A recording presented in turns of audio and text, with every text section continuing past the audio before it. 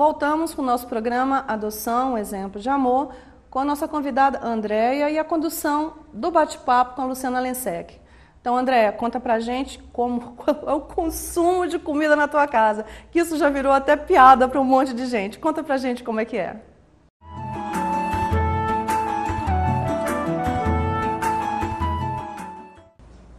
André, então conta como é que é essa confusão toda de consumo, Deve ser uma loucura dentro da tua casa, né? É, atualmente na minha casa, como eu já falei, né, são, somos seis diariamente, né? Seis filhos e nós dois, né? Então, assim, não dá para ter um sabonete no boxe, né? Então, cada um tem o seu sabonete, senão fica uma, uma farra, né? Interminável. Papel higiênico é uma enormidade, eu não sei quanto a gente usa, não sei. Comida, já me perguntaram em outros grupos, Calculo eu que se eu for comprar bife, é um quilo, um quilo e meio por refeição. Uhum. Acredito que é isso. Principalmente porque você tem crianças em fase de crescimento. É, né? eles comem muito. É. Comem Meninos, muito. Principalmente, né? É, eu tenho. Todos eles comem muito e são magros. Gastam energia. Todos eles comem muito mesmo. Assim, eu sou uma mãe que sempre fui assim com as minhas, né, com os meus biológicos. Eu sou contra doce, bala, chiclete até porque eu tive febre reumática, então tive um problema sério com a dentição. Então eu preservo isso deles, né? Então uso de selante, essas coisas todas nos dentes e não admito bala, essas coisas, nada disso. Só em festa, só, sei lá, uma brincadeira que surja, mas diariamente não tem.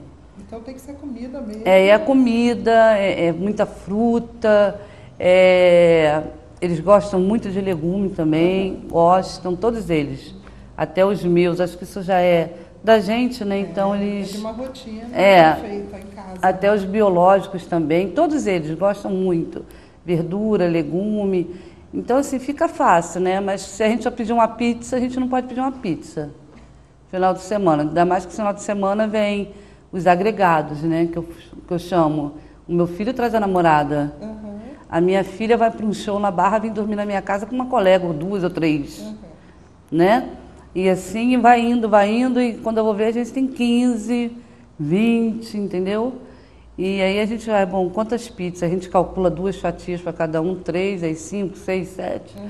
É uma, muito complicado. Assim, a questão do consumo, a gente não sabe nem, eu não sei, sinceramente eu não sei nem fazer uma proporção.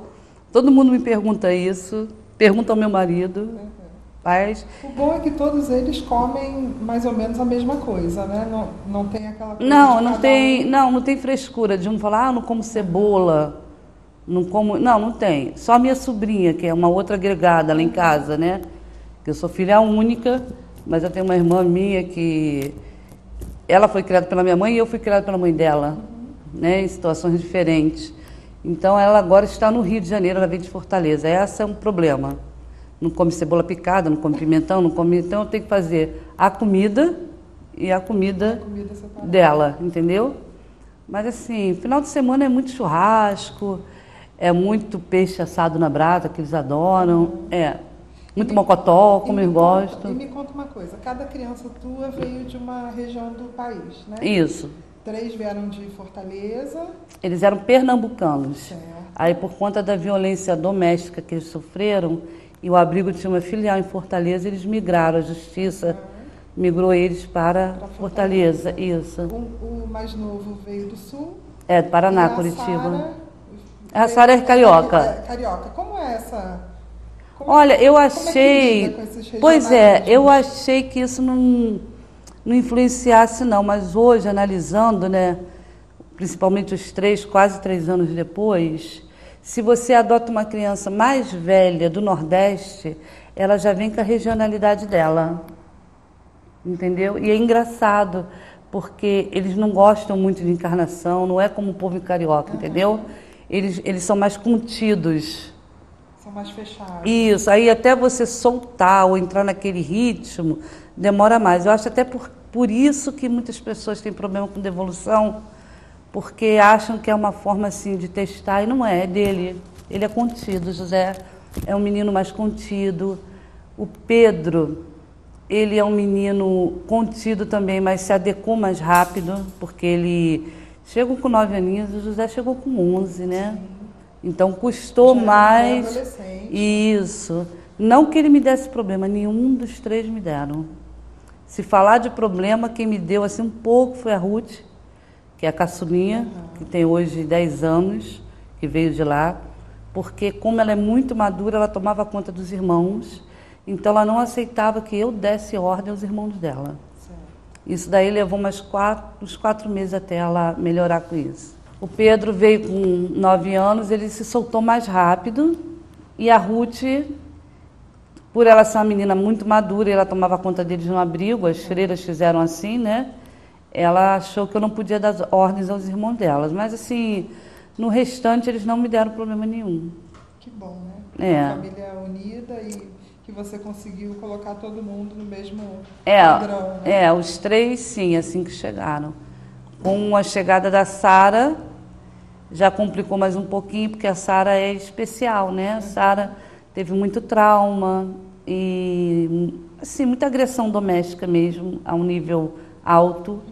E ela chegou lá em casa sem saber segurar um lápis, com 10 anos de idade. Então, assim, foi complicado. Primeiro eu botei numa escola, não deu certo. Mas eu sempre gostei muito de ler, graças a Deus. Aí descobri uns projetos da Prefeitura do Rio. E nesse projeto existia uma classe especial com seis alunos apenas, que ela está lá oito meses, já está lendo, já está escrevendo. Mas, assim, foi muito complicado. Ela não sabia comer, ela sentava... Não sabia sentar, se portar direito, porque é aquilo, né? Sai num- numa agressão, aí vai para um abrigo, família acolhedora, não é a mesma coisa que estar numa família orientando, Com né? certeza. A gente vai para o intervalo e volta já.